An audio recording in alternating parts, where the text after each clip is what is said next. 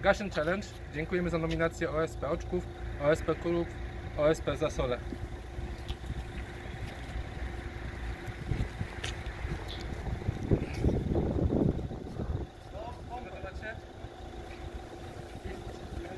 Raz, dwa,